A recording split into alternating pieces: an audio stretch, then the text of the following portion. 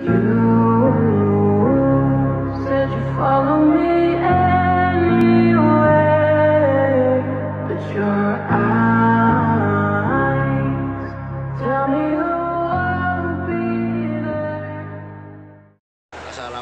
warahmatullahi wabarakatuh.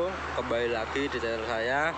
Setelah lama nggak mengupload video Saya hari ini ngupload video hunting di kilometer 417 Hunting-hunting bus yang arah barat.